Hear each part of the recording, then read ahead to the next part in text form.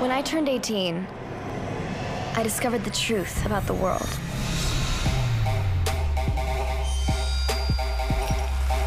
Nothing's what you thought it was.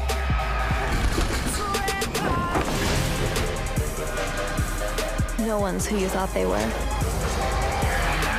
Monsters in my head, I'm scared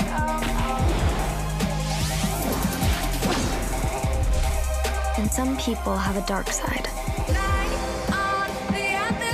Really dark.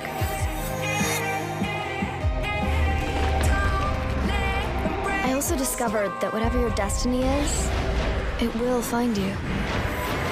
And when it does, be ready. It's a revolution. Shadowhunters premieres on ABC Family, soon to be Freeform.